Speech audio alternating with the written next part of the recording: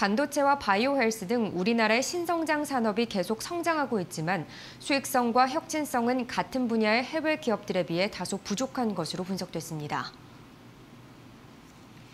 한국은행에 따르면 2020년 기준으로 반도체와 2차 전지, 디스플레이 등은 글로벌 최상위권 수준의 시장 점유율을 유지하고 있고 바이오 헬스 부문은 2010년 이후 점유율이 계속 높아지고 있는 추세입니다.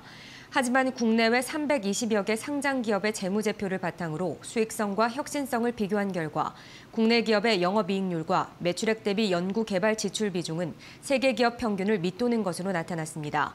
원자재 수급 불안과 글로벌 공급망 재편, 해외 후발 기업과의 기술 격차 축소 등은 한국 신성장 산업의 주요 위험 요인으로 지목됐습니다.